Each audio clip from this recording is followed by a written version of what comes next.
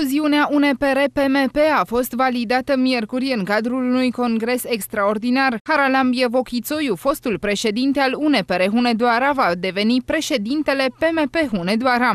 În urma aplicării criteriului că cine a obținut mai multe voturi la alegerile locale, da.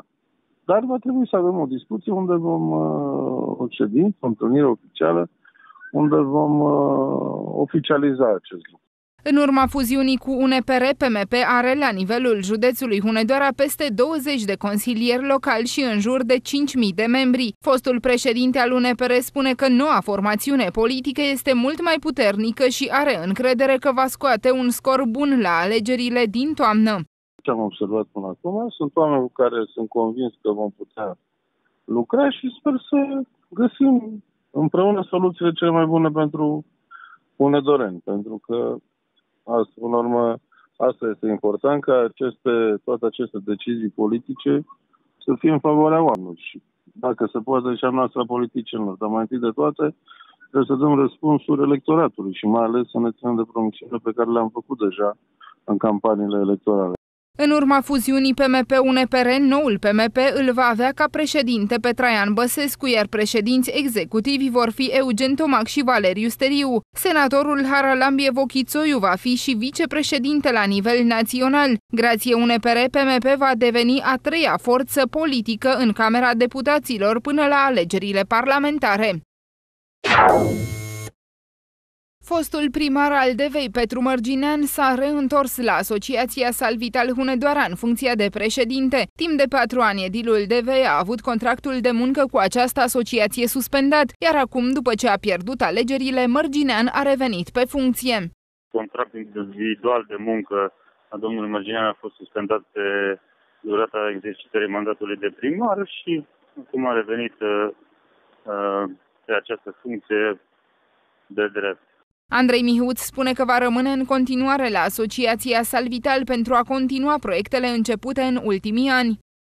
Eu uh, o să mă ocup de alte aspecte uh, legate și de uh, Centrul uh, pentru Voluntariat, uh, Formare și Perfecționare Profesională și instruiri măsuri de prim ajutor, pentru că dorim să dezvoltăm uh, uh, ceea ce am început uh, din 2013 încoace, și anume să facem instruiri măsuri de prim ajutor la nivelul unităților de învățământ din județul Nedoara și să pregătim și paramedicii, să perfecționăm cu modificările de protocol și toate cele.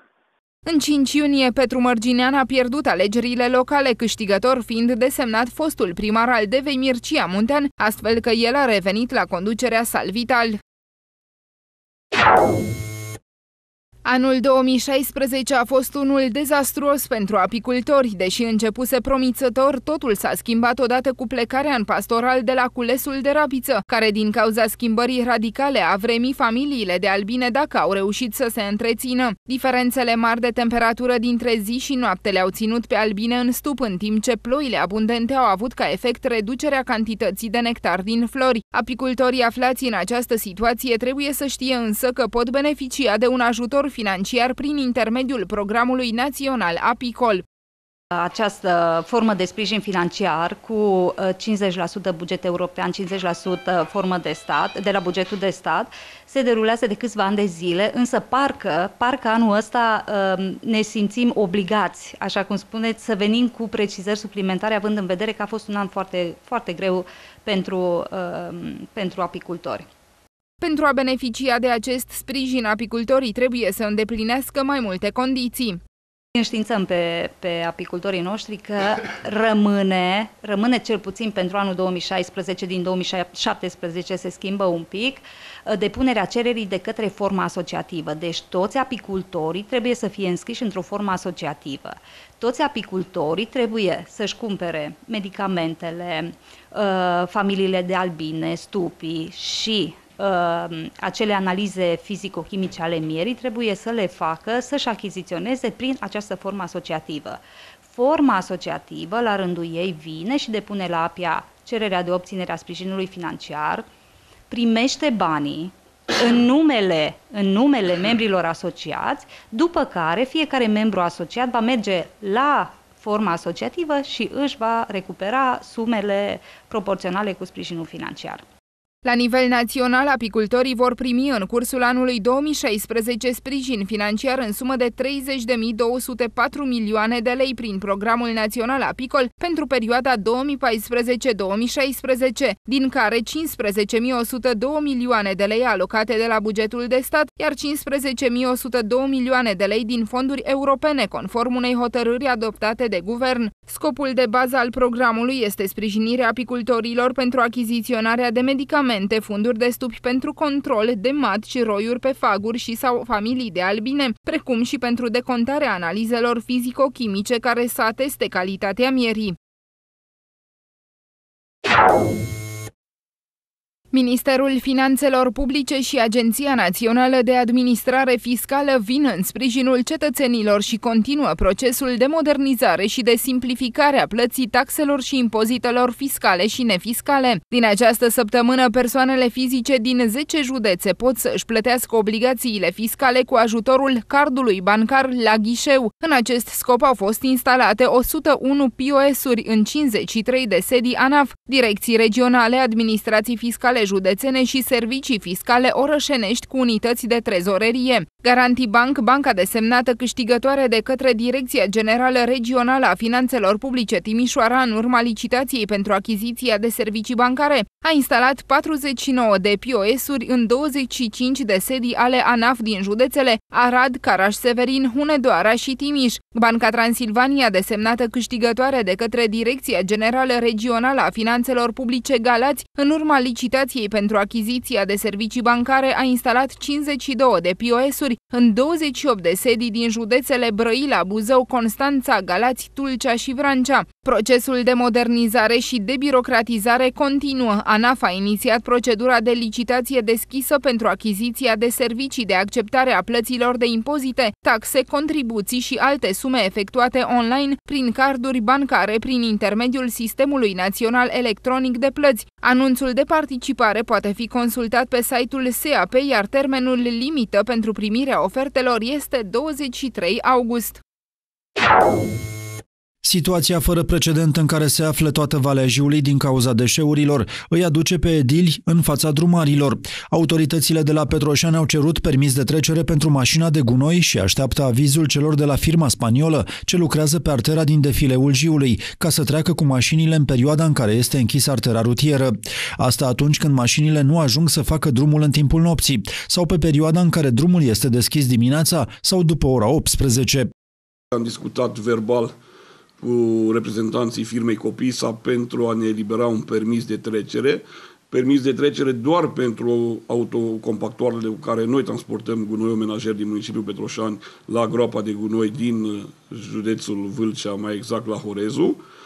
Astăzi am făcut adresă pentru, către firma Copisa pentru a ne da și înscris acel permis ca să nu întâmpinăm probleme pe defileu sau la, uh, în zonele unde există poliția sau alți factori care ne-ar putea interzice accesul uh, pe defileul Jiului. Practic, cei din primărie spun că adună gunoiul chiar și două zile în mașinile de mare tonaj și că încearcă să treacă cu ele mai ales pe timpul nopții. Actualmente mergem în perioada când defileul este închis, în speță noaptea, dar după ce primim și acest permis, putem să mergem și ziua. Intervalul uh, nu este zilnic, la două zile, trei zile, funcție de uh, capacitatea și colectarea, uh, tonele de gunoi menajer care se adună. O mașină poate să umple în două zile, la trei zile, deci funcție de depunere, accesul va fi pe defileul ziului, două, trei zile, Situația va fi valabilă doar până ce la Petroșani, în zona Dâlja, va fi construit deponeul temporar, în care se vor duce deșeuri din întreg județul Hunedoara. Dincolo de chinurile prin care trece un om care face dializă la Petroșani, la 2 km de centrul orașului, în cătunul Dâlja Mare, un bărbat trăiește un adevărat coșmar de peste un deceniu. Omul a ajuns la limita puterilor sale fizice și spune că după ce îndură chinurile istovitoare ale dializei de trei ori pe săptămână, mai îndură și hurducăielile în mașina care îl transportă pe drumul recent rupt de inundații.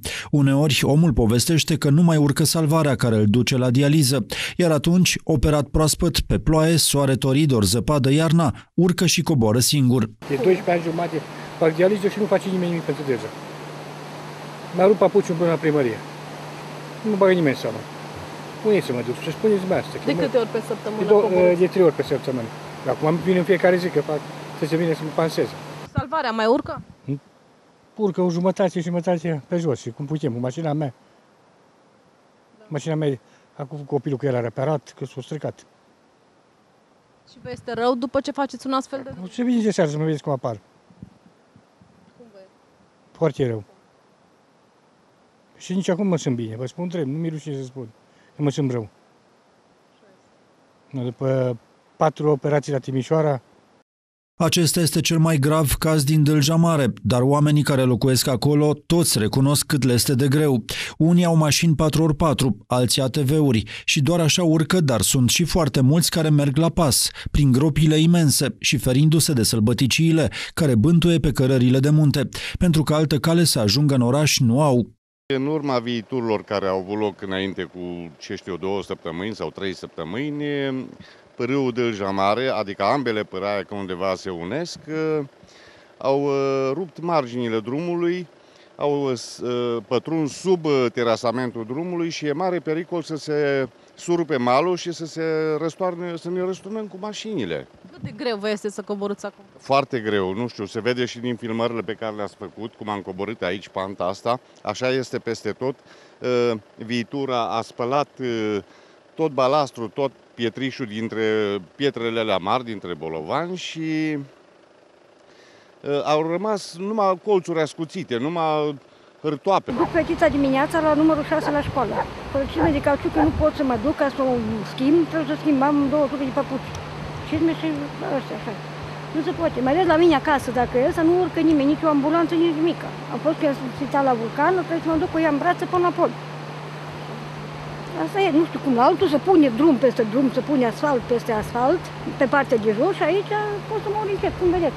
E foarte greu, ce să... Nu avem mașină, venim pe jos, mergem pe jos. Cât voia să faceți drumul ăsta?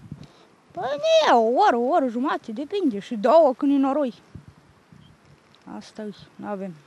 Niciodată n-a fost bun drumul și mai sunt și animale sălbatice pe Mai sunt și animale, mai... Ăsta e drum. Ăsta e drum aici. Ce mașină să urce aici, așa că ți 5-600 e mie un șofer să urce aici. Nici taximetriștii nu se încumetă să urce, iar șoferii care vin merg doar până unde s-a turnat asfalt. Dacă primiți o comandă aici, veniți? Da, e greu să vii aici pentru că drumul e foarte rău. Eu nu pot să spun mai multe decât că e foarte, foarte rău pentru mașinile care vin aici și destul de circulat. Deci e foarte circulat și nu, nu cred că și nu mi se pare normal ca să fie așa. Drumul este acum brăzdat de șanțuri uriașe, după ce ploile torențiale au rupt terasamentul pietruit în primăvară, iar autoritățile locale promit din nou că îl vor repara. În uh, urma hotărârii de guvern de săptămâna trecută ne-a fost alocat o anumită sumă de bani pentru municipiul Petroșani pentru reparațiile drumurilor care au fost afectate atât de inundațiile din luna iunie cât și uh, cele din luna iulie. În cel mai scurt timp o să intrăm cu o firmă specializată în urma unei proceduri de achiziție prin licitație pentru refacerea și remedierea acelor drumuri și străzi care au fost afectate. Implicit intră și acest drum de la Dâlja, care a fost, cred că, cel mai afectat din urma calamităților și, cum v-am spus, urmează să fie remediat și să poată circula în condiții mult mai bune decât acum. Speranța oamenilor din acest cătun rămâne asfaltul, însă nici de această dată nu va fi vorba despre așa ceva. Situația se repetă ori de câte ori plouă sau ninge și cel mai mult au de suferit bolnavii, pentru că salvarea nu poate urca în acest loc, aflat la doar 2 km de centrul Petroșaniului.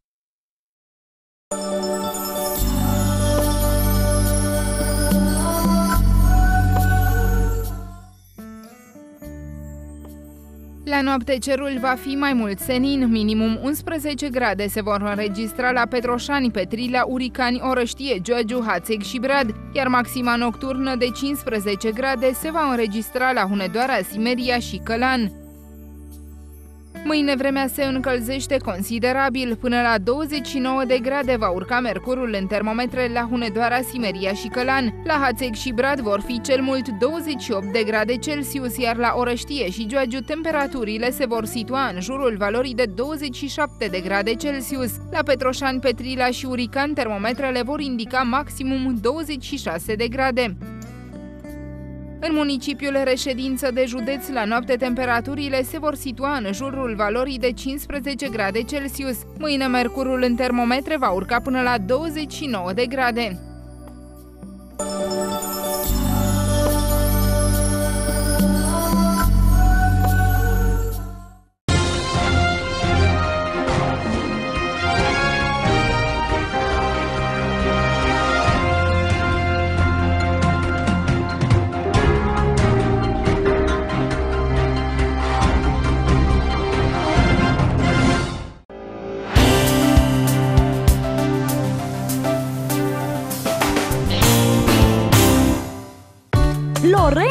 Beauty Salon. Frumusețea trezește sufletul la viață.